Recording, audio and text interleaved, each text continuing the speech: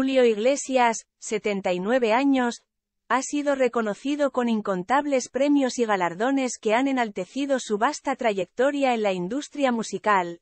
Es uno de los cantantes que más discos ha vendido en diferentes idiomas.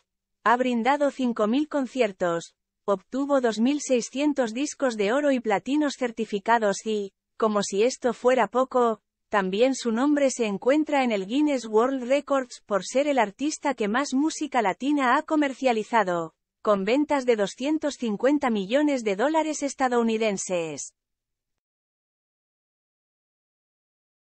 El intérprete de Hey ha sabido sacar provecho de los golpes que le ha dado la vida y desde que pisó un escenario por primera vez, nadie pudo olvidarse de él.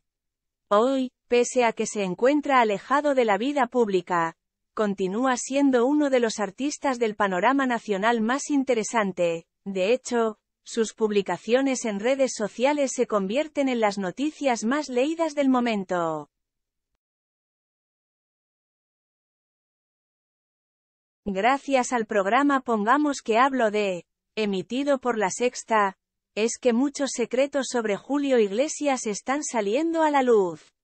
Rosa Villacastín reveló por qué el exmarido de Isabel Preisler mantiene más contacto con Julio José que con Enrique Iglesias y cuál es la razón por la que el cantante, a veces, se enfada con la prensa.